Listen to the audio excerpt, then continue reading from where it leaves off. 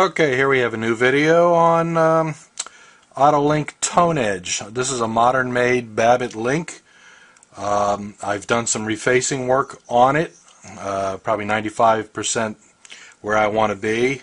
Uh, the client didn't ask for it to be uh, opened or anything, just clean it up where it is. Um, I got to even up this side rail a little bit better.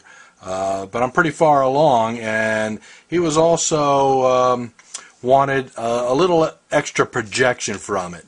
And um, usually, rather than adding uh, a large baffle, I usually recommend that we just fill in the concavity that is in this design right here. You know, this concavity here is like a black hole when it comes to uh, generating sound. I mean, if you like a real dark mouth uh, piece, it's okay, uh, dark sounding, but um, for uh, a little extra projection, that needs to be filled in, and I recommend uh, doing that. Um, and I use a, a product called Apoxie. Starts with the letter A. You can uh, Google that on the internet. They sell a number of different products. Uh, this Fix-It um, is uh, the second product I've used from them. I've used the regular epoxy and it's fine, but this came in a small quantity, so um, I use this quite a bit. Um, it's a paste. You store it in your refrigerator, keep it fresh, and you mix up equal parts of that. Um, so, going to do all that in real time here. Take a little bit. You don't need much because you're getting some out of each one of these guys. So, this is going to be more than we need. But take out enough that you can judge the size of both parts. So, um, I'm using a, a a little bit of cellophane that I pulled off of my the back of my sandpaper. If you remember, I said, don't throw that away. It's useful. Uh, I like mixing epoxy on it. So you pull out two pieces that are reasonably the same size, and then you have to get a little messy mixing them up. Even though these have been in the refrigerator, they're they're not. It's not too hard to work with. And this stuff is not like the plumber's epoxy that that I use. Uh, uh, from the hardware store. That that's good stuff to put baffles and metal mouthpieces, but that stuff only dry, dries hard in five. You can't work it after five minutes, and after ten minutes or so, you can sand it. This you're going to need to dry overnight, but it's nice that it uh, has a longer working time in case you want to shape something, and also it dries black. Um, and it almost looks like the original hard rubber on the inside. Not that looks are that important inside, but you know, why not? I think uh, this is used in the uh, RPC mouthpieces and a few other brands uh, to create internal shapes. I also um, keep handy some either hardware wipes or baby wipes. I don't have a sink down in my shop down here in the basement, so these are handy to have to get the epoxy off off you. So um, Sometimes I scuff up the surface, but it's not that important on this. I don't think I, I don't think it's going to fall fall out.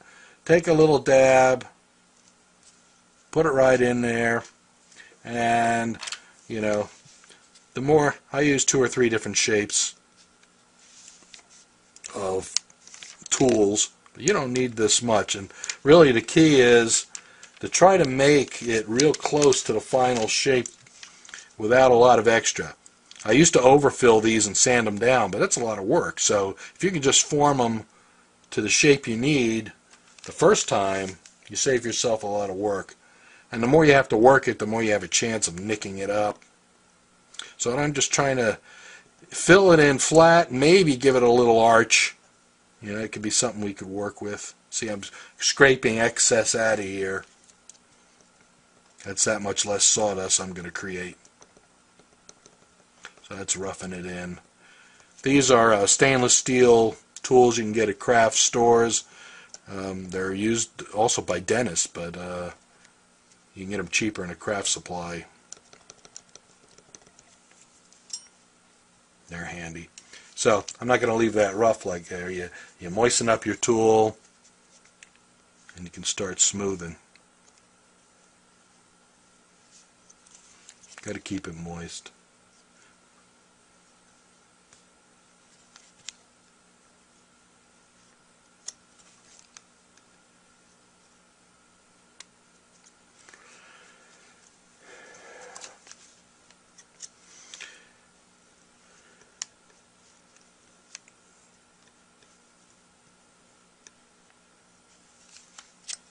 When it gets really down, starts getting dry, you can actually put a little bit of this right on it, moisten it up.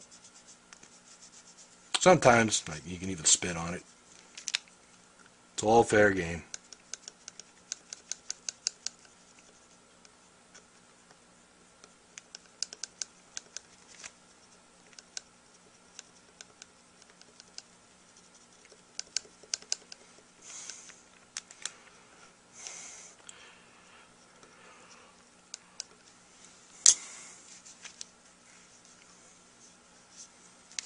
So that's getting real close. You're making nice and smooth as if it never occurred. Always take a look gun sighted to see if you got any bumps in there. And uh, this stuff you can come back to after a half hour or hour and you can still move it around a little bit. It sets up slowly and sometimes you you you know you might want to finish smooth it after it after it sets a little bit. But I'm just going to leave this till tomorrow morning and then I'll use my sanding sticks to finish it up. And I think that's all that's going to need is just that little bit of uh, modification there and it'll turn it into a, a play a mouthpiece that plays more like you want it.